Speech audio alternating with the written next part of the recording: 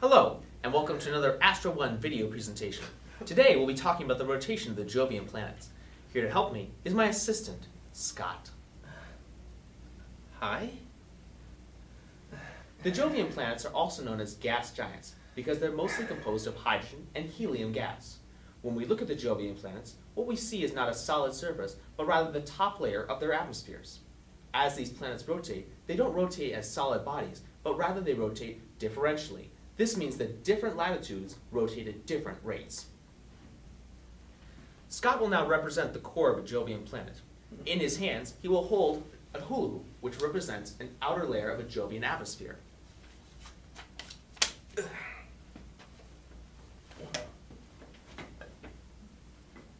What happens if the, the upper layer of the Jovian atmosphere rotates in the same direction as the, as the planet?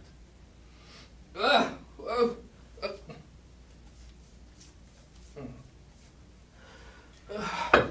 As you can see, the upper layer of the Jovian atmosphere rotates faster than the rest of the planet.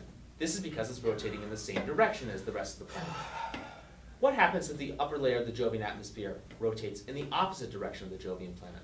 uh, wait, can I rotate in the opposite direction? No. Ugh, ugh.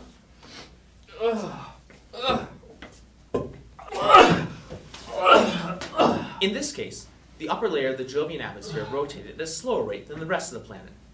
Jovian planets have very strong winds in their upper atmosphere, which causes different layers to rotate at different rates. This is what causes their upper layers to rotate differentially.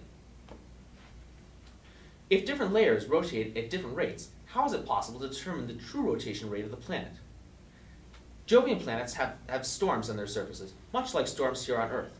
These storms form at alternately moving layers of the atmosphere. Scott, would you please hand me a ball for this demonstration?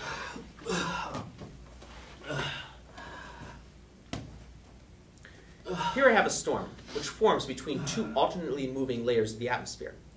As the planet rotates, the storm stays, stays stationary relative to the rest of the planet. Therefore, by measuring the rotation rate of the storm, we can measure the rotation rate of the planet. When we look at the Jovian planets, we see that they are not perfect spheres, but rather oblate spheroids. Equatorial regions bulge outwards. Why does this happen?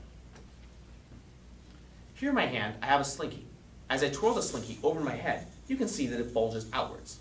As I twirl the slinky faster, it bulges out even further. The Jovian planets all rotate rapidly, much more rapidly than the Earth, and so their equatorial regions bulge outwards. According to Newton's first law of motion, these regions want to fly off tangent to the surface of the planet. Ow! But the planet's gravities pull them back in.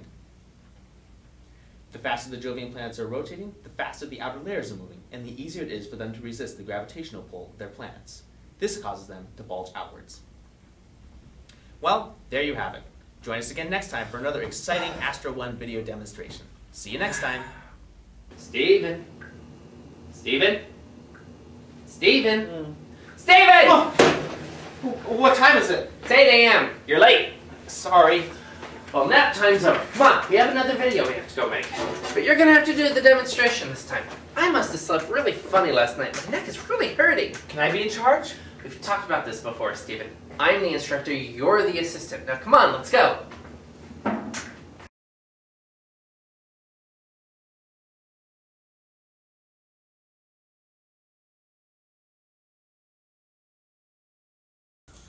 The Jovian planets all rotate very rapidly, much more rapidly than the Earth rotates.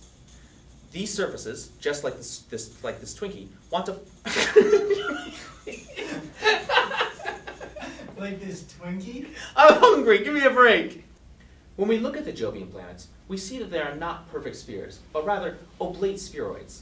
This means that their outer that their equatorial regions bulge outward, much like my assistant. Hey! Hey! No!